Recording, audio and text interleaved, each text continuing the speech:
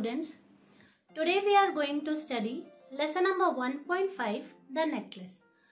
The Necklace has been written by Guy D. Mopson who was a famous writer of 19th century.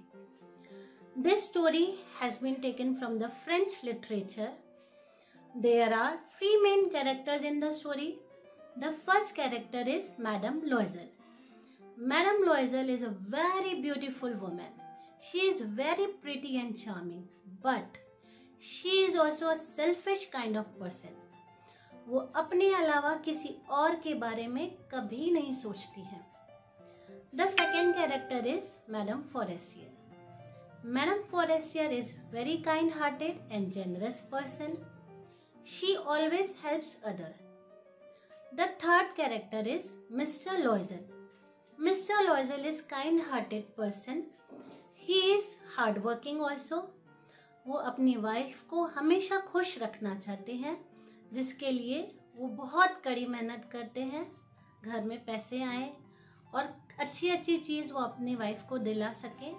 इसके लिए वो हमेशा प्रयासरत रहते हैं। So the story is based on the first character that is madam Loisel she is very beautiful from outside but from inside she is discontent with less than wealthy life. In this story, we will see the importance of jewelry through the character of Madame Loisel.